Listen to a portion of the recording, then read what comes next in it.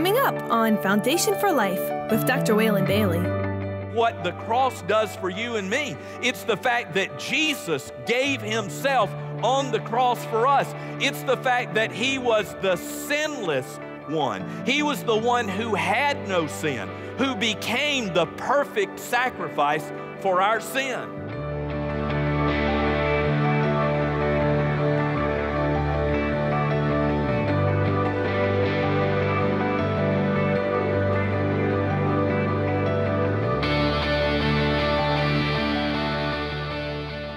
Want to give you a goal for Easter. We, we live in a place, we live in a country where a lot of people have a goal for Easter. I, I want to do this during this time. Well, let me give you a goal. Here's what the Apostle Paul said to the church at Corinth He said, I want to know Christ and the power of his resurrection. And of all the goals that I can think of for Easter, that, that is at the top of the list. A lot of time our goals for Easter are, are not worthy of the cross. A lot of times our goals for Easter are, are not about, about what really matters. But here is, a, is scripture, and, and I can't determine your goal. I don't need to determine your goal. You, by the power of God's Spirit, need to understand what that is. But but this would be a tremendous goal. God, I want to know Christ and the power of his resurrection. Over the next six weeks, we're going to look at the crucifixion of Jesus. We'll look at Matthew and Mark and Luke and John. And we're not going to look at the, the days leading up to the crucifixion, and we're not going to look at the, at the trial of Jesus, and we're not going to look at the Garden of Gethsemane. We're just going to look at those passages where Jesus is hanging from the cross and what's happening as a result, and what it is that the, the gospel writer wants us to see. Matthew wants us to see that this is a spiritual struggle. It is God suffering on our behalf. It is His taking our sin upon Him so that we can become His children. So let's look at Matthew and let's talk about the battle for humanity. Matthew chapter 27 and verse 32. As the Roman soldiers were going out, they met a man from Cyrene in Africa named Simon, and they forced him to carry the cross. They came to a place called Golgotha in the, Golgotha in the Aramaic dialect, which means the place of the skull. There they offered Jesus wine to drink mixed with gall, a sedative but after tasting it, he refused to drink it. When they had crucified him, they divided up his clothes by casting lots, and sitting down, they kept watch over him there. Above his head, they placed the written charge against him This is Jesus, the King of the Jews. Two robbers were crucified with him, one on his right and one on his left. Those who passed by hurled insults at him, shaking their heads and saying, You who are going to destroy the temple and build it in three days, save yourself. Come down from the cross if you are the Son of God. In the same way, the chief priests, the teachers of the law, and the elders mocked him.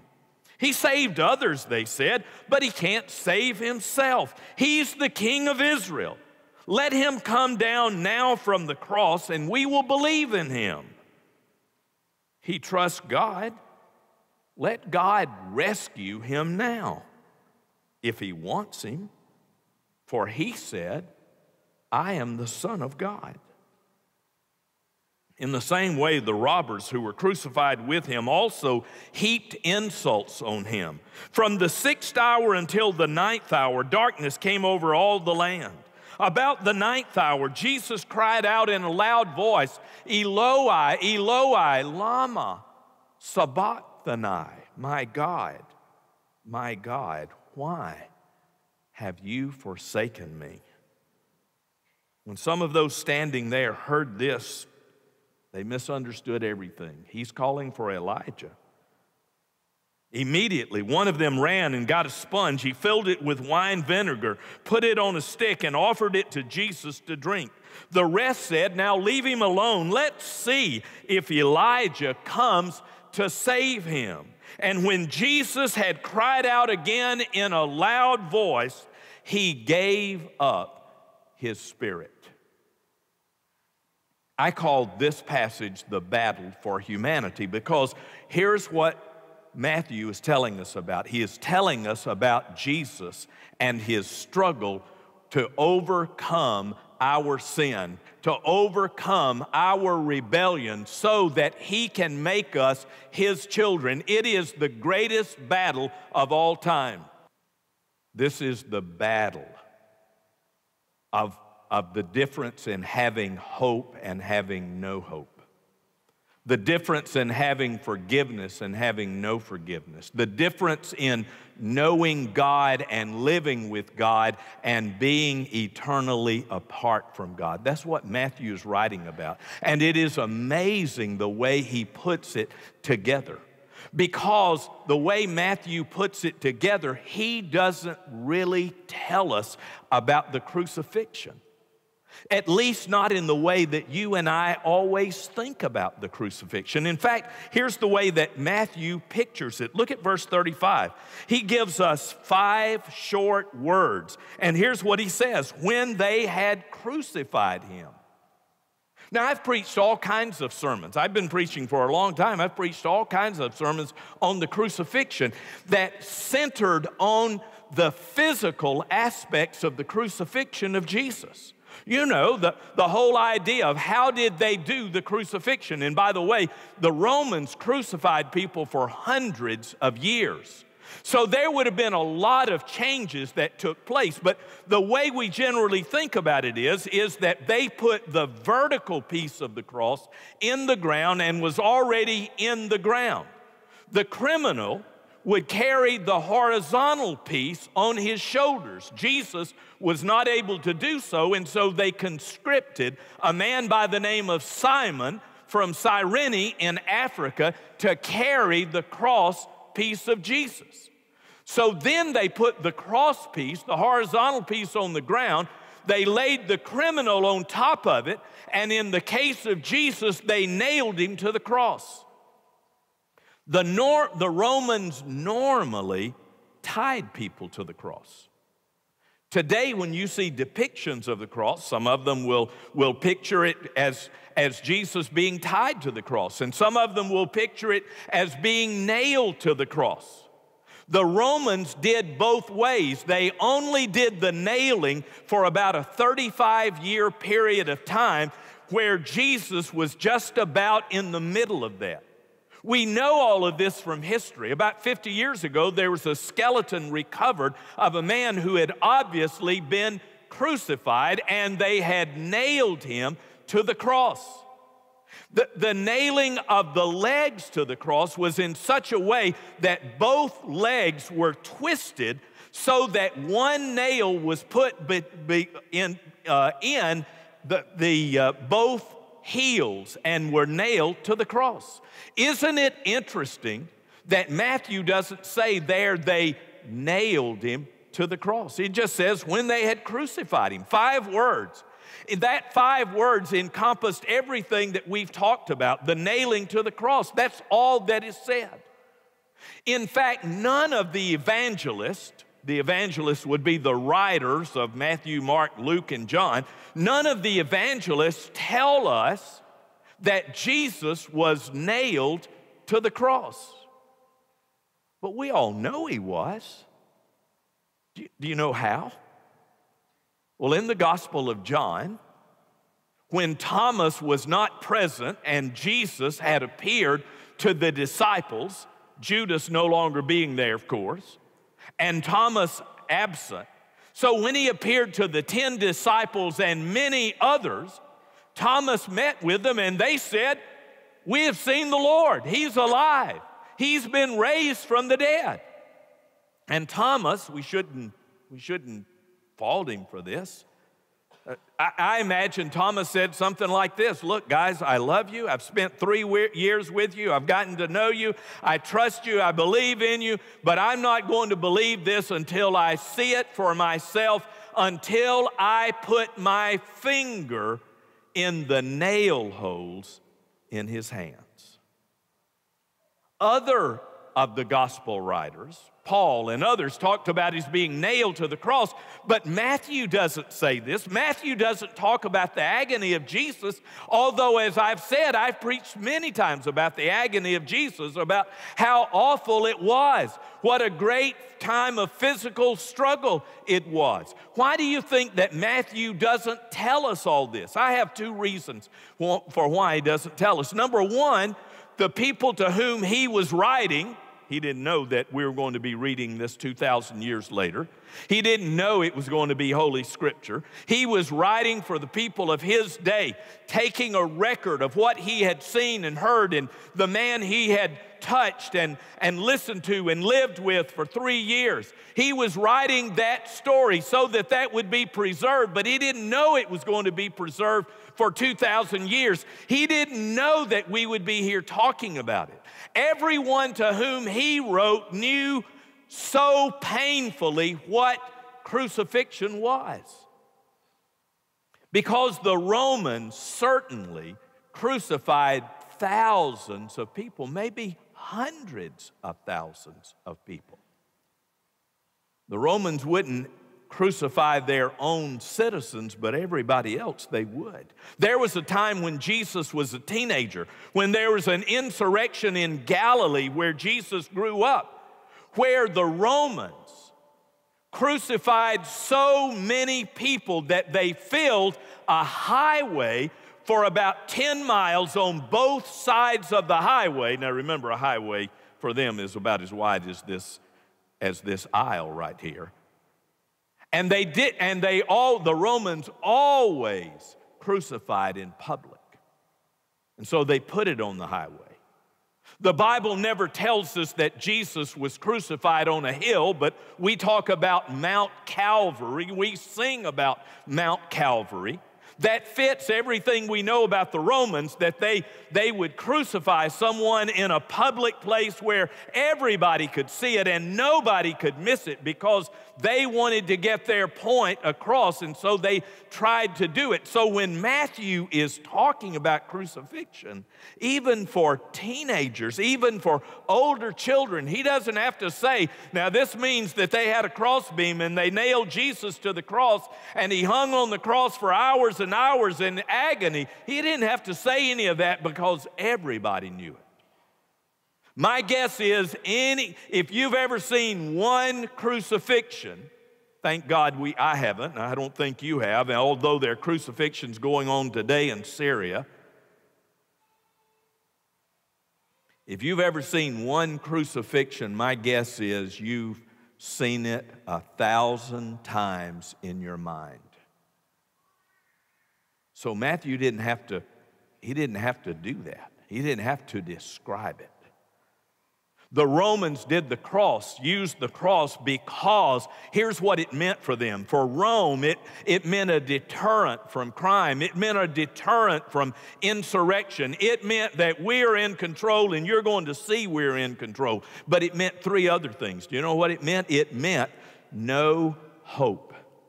Because when the Romans crucified, there was a crucifixion detail.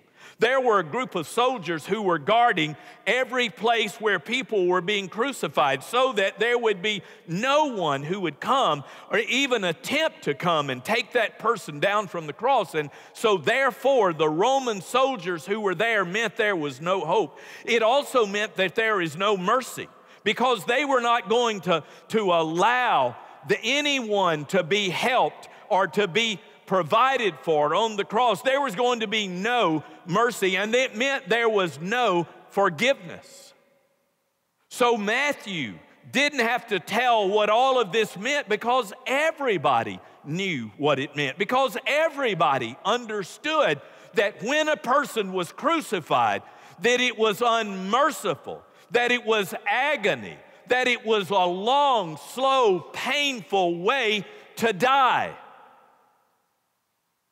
But Matthew doesn't describe that for a second reason. Because Matthew doesn't want you and me to focus on the physical, he wants us to focus on the spiritual. He wants us to focus on what it meant for Jesus to die. Because Jesus is not the only person who's, who was crucified. Jesus is not the only person who died for someone else. Jesus is not the only person who, who suffered terrible agony in death. That's not the significance of it. And, and Matthew doesn't write as if that's the significance of it. No, the significance is what the cross does for you and me. It's the fact that Jesus gave himself on the cross for us. It's the fact that he was the sinless one. He was the one who had no sin, who became the perfect sacrifice for our sin.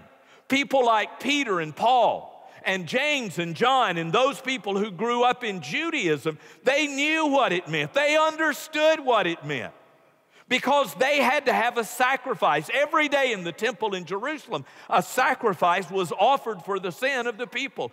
Every year in October, on the Day of Atonement, a sacrifice was made for the whole nation. But it didn't hold, it wasn't complete. And so they had to do it again and again and again. So in Christ, the cross means totally different from what it meant to the Romans. For the Romans, it's a way of inflicting punishment and pain. But in Christ, for us, the cross means something so different. There's a reason why we have crosses flanking this auditorium. There's a reason why churches uh, put, their, put crosses at the highest point of their buildings. There's a reason why women wear a cross around their neck. There are reasons why a man will, will put a cross in his pocket because there's reasons why people, after they've prayed, will, will have the sign of the cross. It is because the cross is everything, because, because for Christians, the cross means hope. Because for Christians, the cross means mercy. Because for Christians, the cross means forgiveness. Because Jesus, who had no sin, Paul said, became sin for us. Now, I can't explain, I can, I can use the right words, I can quote scripture, but I cannot describe the full, the great meaning of this. I would think it would take all eternity to describe the great meaning of what it means to say that Christ, who had no sin, became sin for us. And so, so here's what happened. This is what Simon Peter said in his letter to the churches. He said, Christ died for our sins once and for all. Remember, the sacrifices in the temple had to be repeated over and over and over again because they weren't, they didn't do the job, because they didn't hold, because they weren't enough. But the cross of Christ, when He died for us on the cross, it was enough. It was once for all. Peter said it was the righteous, Christ, who died for the unrighteous that we might be able to come into the presence of God. You don't come into the presence of God because you're in a Baptist church or, based on Scripture, any church. You don't come into the presence of God because you, you do what we all say. So what do we say? I'm going to try harder. I'm going to do better. I'm going to, I'm going to give it my all. I'm going to change. I promise you it's going to be different. My dad was one of those people who every Sunday said, I'm going to start a diet tomorrow morning. He never quite got around to doing it. And we do the same kind of thing. You know, I, am I'm going to get better, I'm going to do better. But that's not the story of the gospel. The story of the gospel, the battle for humanity, is what we read in this passage of Scripture, this powerful passage of Scripture where Jesus suffered for us spiritually on the cross, taking our sin on ourselves. that we might be able to come into the presence of God, that we might be called his children. I love John 1:12. John, John chapter 1 tells us about the beginning of the world and that Christ was the creator and that God sent his son into the world. But he, those to whom he sent them did not receive them. He sent them to his own people, but his own people didn't receive them, him. But to them who did receive him, think about that. To those who received Christ, to them he gave the power to become the children of God. He re- received them. And he, he came to us so that we might receive him into our lives. This passage of scripture is, is a powerful reminder it shows us again and again of the futility of trying to save ourselves. How do we do that? We do it by, I, am going to be better, and we do it by coming to church, and we, we do it by preaching sermons, and, and, and I'm going to save myself. But that is always utter futility. It's an impossibility. It can't be done. There was no one more, more religious than the people who crucified Jesus. They were the religious leaders of the Jews. These were what you and I would have described good people. They were, they were seeking to save themselves. They had missed out on the spiritual reality. Look at what he said in verses 39 through about verse 43. They're taunting Jesus. Imagine what that was like. Imagine the way we look at it today. Here is the Son of God, here is the Savior of the world, here is God in the flesh hanging on the cross for our sins, shedding his blood and dying for us. Think about that. And what are they doing? They're taunting. Now, they use his own words to do so, and they speak truth, but it's in sarcasm and in taunts. Notice what he said, verse 39 those who passed by hurled insults at him and saying, You are going to destroy the temple. He was talking about his own body, and on the third day would be raised up again. You who are going to destroy the temple and build it again in three days, come down from the cross if you are the Son of God. In the same way, the leaders of Israel said he saved others, but he can't save himself. He's the king of Israel. Let him come down now from the cross, and we'll believe in you. He trusts in God. Well, here's the ultimate taunt. He trusts in God. Let God rescue him now, if God wants him. For he said, I am the Son of God. Even the robbers taunted him. Here are religious, good people in the way you describe and I describe religious and good who couldn't see spiritual reality. That we don't save ourselves, that it is not my trying harder or preaching more sermons, that it is not our doing better or being about as good as everybody else or doing something for someone else. By the way, please keep doing all those things. But do them because you are saved and not because you want to be saved. Do them because you trust in Christ and because God has transformed your life. These people couldn't see the, re- the spiritual reality. Can we see the spiritual reality? That it is only in the cross, that it is only in the death of Christ, that it is only in His sacrifice for our sin that we can enter into the kingdom of heaven and that we can know God and follow God. Notice Notice Isaiah 53, verses 4 and 5 on your sermon sheet. In the background of Matthew's writing about the cross is Isaiah chapter 53. Isaiah 53 was written 700 years before the time of Jesus. But notice what he is writing about. Notice what he is talking about. He is what Jesus did on the cross fulfilled what you find in Isaiah 53, 700 years before. Surely he took our infirmities and carried our sorrows. But we misunderstood him. We considered him to be stricken by God, smitten by God, and afflicted. But it was not the case. He was pierced for our transgressions, he was crushed for our iniquities. The punishment that brought us peace was upon him, and by his wounds we are healed.